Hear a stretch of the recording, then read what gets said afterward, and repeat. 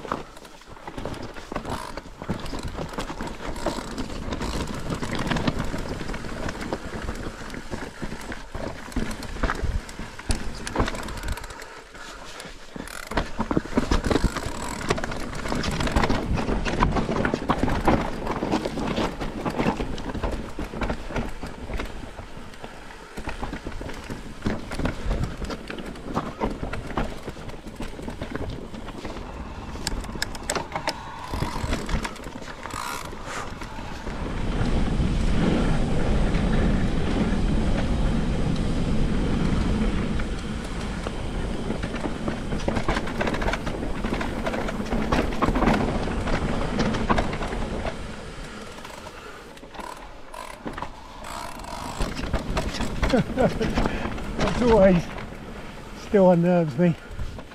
I've done it three or four times. You kind of get there